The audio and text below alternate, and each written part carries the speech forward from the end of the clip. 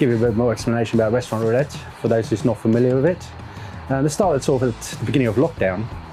Um, a few of us sort of sat together one evening, um, said, "Well, we all, everybody's a bit bored, so let's let's get involved and do something. We all like barbecuing."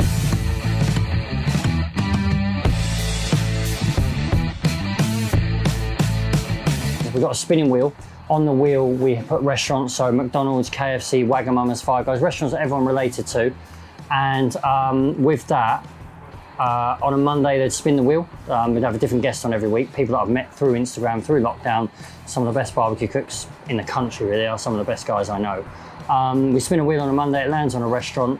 They have till Friday to cook a dish from that restaurant, and you, as the viewers, watch it and rate it out of 10.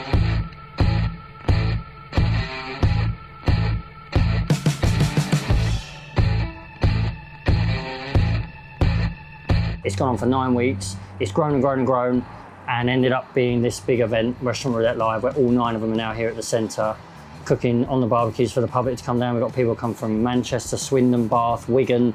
People come from over, so it really did capture the imagination. I was on week five and I had Pizza Express. So I did everything on a, a Weber 57 uh, centimetre uh, on the pizza stone. Uh, did dough balls, the pizza, dessert, everything on the Weber kettle. It was, it was really, really good, really, really difficult. My biggest tip for barbecuing is make sure you've got some way of reading the meat's internal temperature. Now the Traeger has those internal temperatures built in, but if you're using something else, you can also use something like a Thermapen. Don't be boring. Experiment with everything.